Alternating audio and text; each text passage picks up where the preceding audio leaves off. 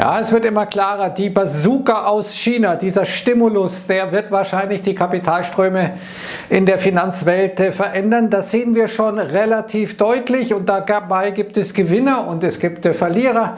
Äh, zu den Gewinnern zählen offenkundig nicht die Tech-Aktien, aber zum Beispiel der DAX. Aber wir haben jetzt auf der anderen Seite eine geopolitische Eskalation. Es dürfte jetzt zu einem vollgültigen Krieg zwischen Israel und der Hisbollah kommen im Libanon, denn die Israelis haben versucht, äh, Hisbollah-Chef Nasrallah zu töten. All das vor wenigen Minuten haben das Headquarter der Hezbollah in Beirut äh, bombardiert und das wird wahrscheinlich äh, jetzt am Wochenende zu echten Kriegshandlungen führen, möglicherweise eine Bodenoffensive der Israelis. Dann die Frage, was wird das machen mit, äh, oder wird sich der Iran da einmischen? Wie wird dieser Konflikt äh, eskalieren oder vielleicht doch nicht eskalieren? Aber die Situation ist auf jeden Fall brandgefährlich. Aber schauen wir uns jetzt die Dinge mal an, die jetzt mit China verbunden sind und zu dieser Änderung der Kapitalströme führen. Hier sehen wir mal, Morgan Stanley sagt, ja, China-Aktien könnten noch weitere 10% kurzfristig steigen.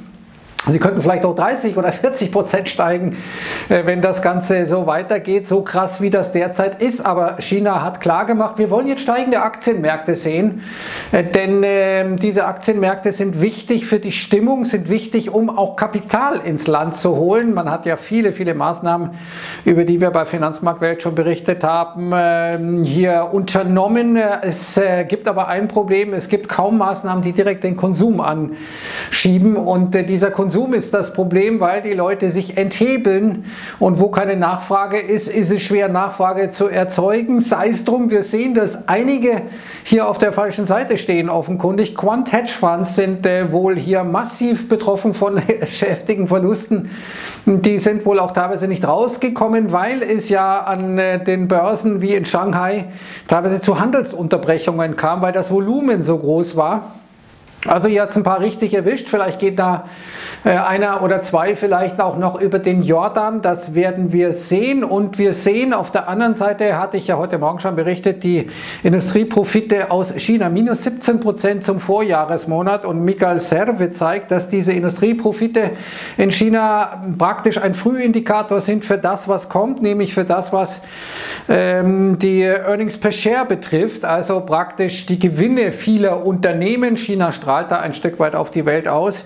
Und das könnte bedeuten, dass wir ähm, bald äh, sehr viel schlechtere Daten der Unternehmen wie auch Wirtschaftsdaten sehen. Dazu gleich dann nochmal mehr. Gleichzeitig aber sind die Aktienmärkte jetzt auf dem höchsten Stand, was die Marktkapitalisierung betrifft, in Relation ähm, oder auf dem höchsten Stand, äh, wie wir ihn zuletzt äh, Oktober 2021 gesehen hatten, also als die Zinsen noch bei Null waren und die Notenbanken massiv Liquidität in die Märkte gepumpt hatten. Deswegen sehen wir jetzt auch eine neue Mode, weil eben China aggressiv lockert, während Japan vielleicht sogar die Zinsen anhebt. Also raus aus Japan, rein nach China. Das sehen wir hier bei diesen Geldflüssen in dieser Tabelle von oder in dieser Grafik von Goldman Sachs. Und dazu kommt jetzt noch, dass ähm, in Japan ein Sack Reis umgefallen ist. Eine echte Überraschung. Ishiba ist jetzt der wahrscheinliche nächste Ministerpräsident. Er ist zum Vorsitzenden der Liberal-Demokratischen Partei geworden, die ja in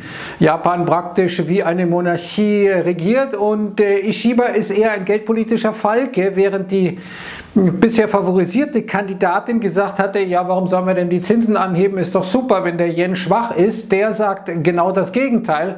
Und das hatte Konsequenzen heute an den Märkten. Wir sehen äh, Dollar-Yen, Bums nach unten, war vorher gestiegen, aber dann massiv äh, nach unten geknallt. Der Nikkei Future mal eben gut 2000 Punkte nach unten gegangen. Wahnsinnsbewegungen, nachdem eben diese Kandidatin, die bisher favorisiert war, Takaichi, es nicht geschafft hat, hier den Vorsitz der Liberal liberaldemokratischen Partei zu erzielen.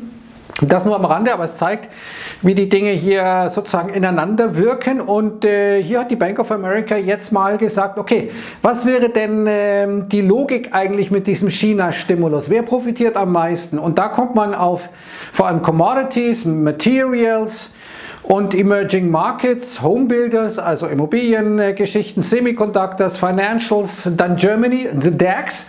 Und viele wundern sich ja, warum ist jetzt der DAX so stark? Ja, deswegen und Industrials und so weiter und so fort. Also wir sehen, äh, dass ähm, die Dinge sich hier ein bisschen verschieben und wir sehen, dass der DAX zum Beispiel jetzt sich deutlich besser als der Nasdaq entwickelt oder in den USA auch besser sich der Dow Jones entwickelt äh, als eben die Tech-Werte. Hier sehen wir die europäischen Aktien nochmal einen zusätzlichen Rückenwind bekommen, weil wir heute Inflationsdaten aus Frankreich und Spanien hatten, die tiefer waren als erwartet, unter die 2%-Marke gefallen sind und das wiederum sorgt dafür, dass die Wahrscheinlichkeit ansteigt, dass die EZB schon im Oktober dann nochmal die Zinsen senken wird. Hier sehen wir das.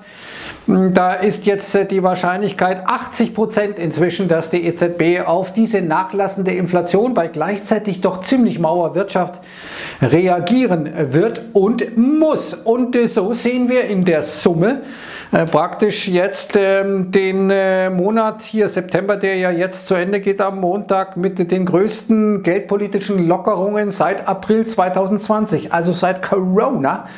Äh, und ähm, das ist insofern bemerkenswert, als wir ja eigentlich doch äh, überall hören, ja, Wirtschaft läuft doch gut, vor allem in den USA, was ist da los? Und auf der anderen Seite sehen wir dann, dass aber natürlich Gold Sinn macht als Absicherung. Erstens, als Hedge gegen die Schulden, gegen Defizite, gegen äh, letztendlich diese totale ja, wie soll man sagen, Eskalation, die auch im Bereich der Notenbanken der Fall ist, indem sie jetzt sehr, sehr schnell die Zinsen senken.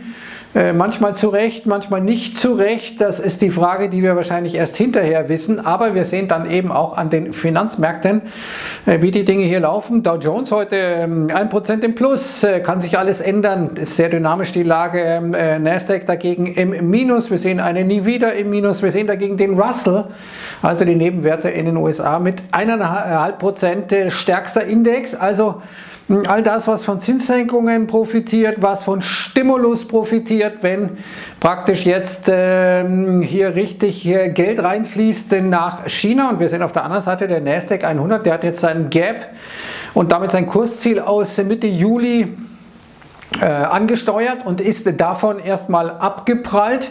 Aber das ist sicher reiner Zufall. Wenn wir uns heute mal die verschiedenen Sektoren anschauen, dann sehen wir, es sind Materials, die stark sind, es es sind ähm, solche Werte wie Utilities, es sind Finanzwerte, es ist vor allem Energie jetzt erstaunlicherweise.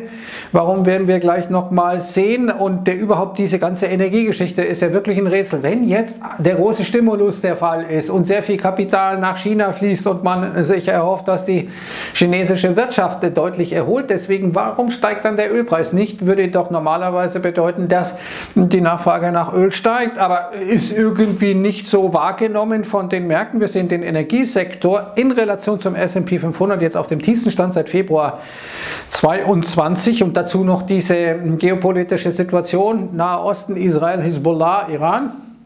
Mal sehen, was passiert. Und hier sehen wir mal den Ölpreis, wie er noch vor einer guten Stunde äh, der Fall war.